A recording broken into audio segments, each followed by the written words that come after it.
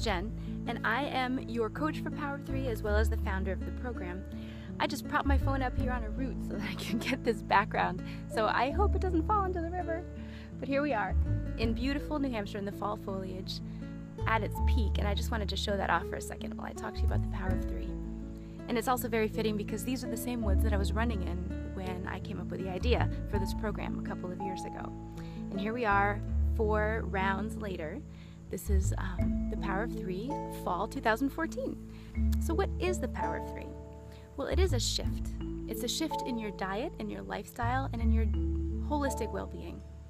The reason I created this was because I wanted to offer to the masses, as many people who were interested, a way to learn how to eat real foods, to get right back down to the basics. Simplify, eat real food, and live in a more holistic way. So that's what it is it's an education. It's not just about food, and it's not just about weight. Although many of my clients came into this program hoping to lose weight and they reached their goals. So, if that is what your goal is, then you can trust that that is a healthy side effect of the power of three.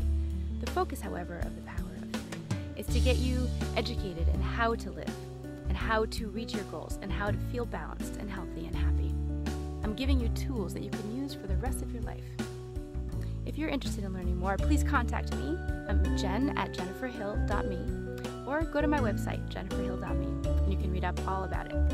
All right, I look forward to talking to you, and please enjoy this beautiful fall. Take care of you.